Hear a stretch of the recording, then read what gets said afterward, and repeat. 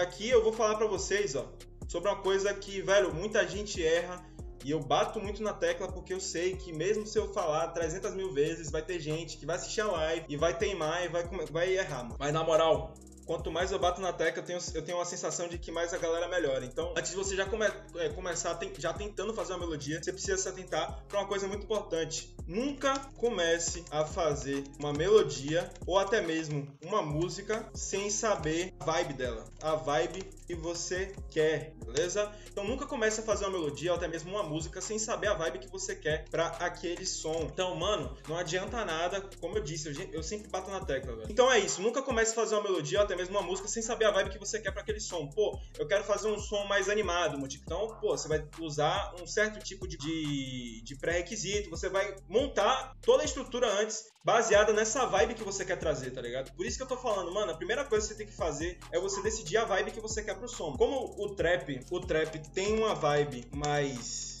negativa ou agressiva ou de tiração de onda, vamos dizer assim. Então é o seguinte, todo som vai girar em torno, seja eh, falando de falando do âmbito, né? criativo e também na esfera técnica. Sim, rapaziada. Então é o seguinte, nunca comece a fazer uma melodia ou até mesmo uma música sem saber a vibe que você quer para aquele som. Mas primeiro a gente precisa definir a vibe, tá ligado?